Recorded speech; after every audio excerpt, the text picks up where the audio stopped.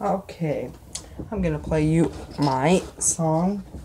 I don't really have any lyrics to it, or I do, but I don't remember them, so I'm just gonna play it. Okay, I hope you enjoy it.